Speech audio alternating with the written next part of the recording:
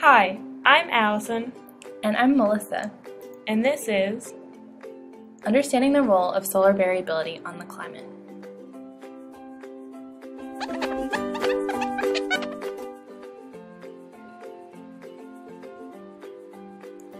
Our story begins at the beginning of the 17th century, where a man named Galileo Galilei looked at the sun through his telescope and discovered small discolored areas of the sun, which he believed to be the sun's clouds.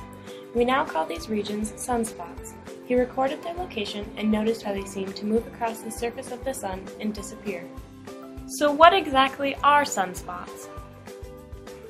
A sunspot is a place on the photosphere of the sun that is cooler than the areas around it. This causes it to appear darker.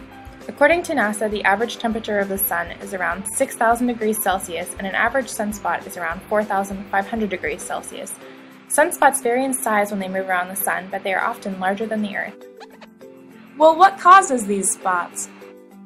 The sun is made up of hot gases and is not a solid mass. Therefore, the different layers and latitudes rotate at different velocities.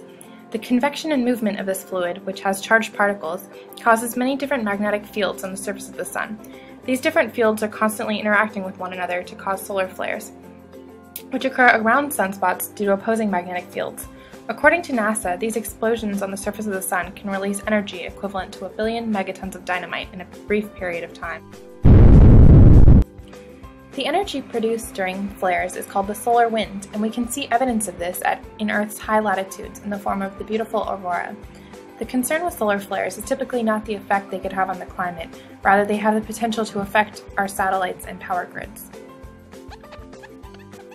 Hey Allison, could you explain the sunspot cycle for us? Well, this concept was first observed by German astronomer Heinrich Schwabe. He noticed a pattern in the fluctuations of the quantity of sunspots over an 11 year period. The 11 year cycle refers to a naturally occurring social phenomenon that describes periods of maximum and minimum solar output. The maxima come around approximately every 11 years, hence the name. So, can the sunspot cycle affect the climate? Solar variability can affect the climate on Earth. Scientists have observed correlations between temperature on Earth and sunspot activity. For example, parts of the Earth experienced what is known as the Little Ice Age between 1645 and 1715. This time frame correlates with a period in the sunspot cycle history known as the Maunder Minimum. The Maunder Minimum was when there were very few sunspots, resulting in increased temperature variability around Earth.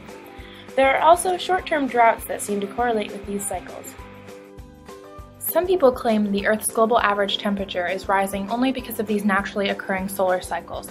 Let's see how one of these arguments holds up based on our scientific understanding of solar variability.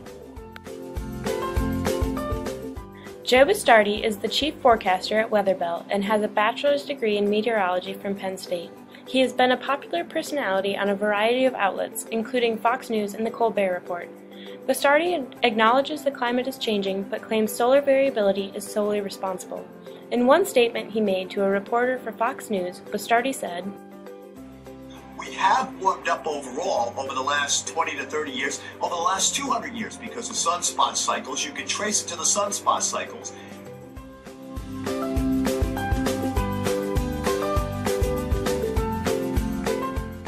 So, with what we know about sunspot cycles, can this be true?